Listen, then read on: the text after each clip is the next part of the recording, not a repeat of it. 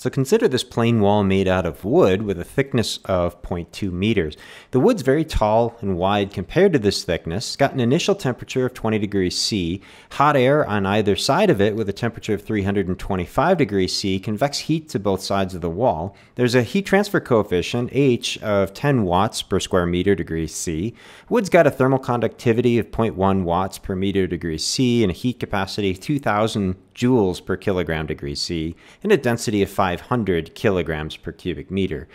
So we're being asked to calculate the temperature of the center of the wall after two hours. Uh, let's start, and we're going to start by determining whether lump capacitance is an appropriate way to make this calculation.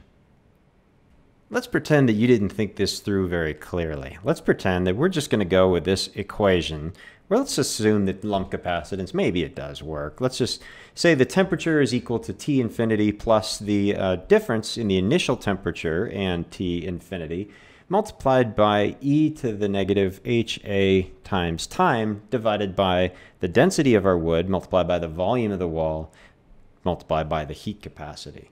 So if I put numbers into here, and I was careful with units, what I would find is that the temperature is about equal to 110 degrees C. So we predict temperature of the wall after two hours is 110 degrees C. However, we first need to check whether this is appropriate or not. So let's start by calculating the Biot number. The Biot number is the heat transfer coefficient multiplied by some characteristic length divided by the thermal conductivity of the wood. The characteristic length in this case is going to be the distance uh, over which the temperature gradient would occur. So in our case, this distance that we're talking about would be the distance between the center line of the wood and the exterior of it. So the total thickness of the wood is 0.2 meters. The characteristic length that we're looking at is going to be 0.1 meters.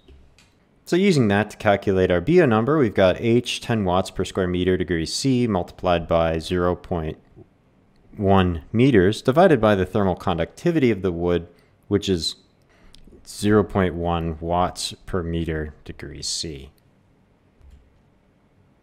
So let's confirm that this is dimensionless. The watts cancel out, the degree C and the denominator cancel out, as do the length scale meters. What we're left with here is a Biot number that's equal to 10.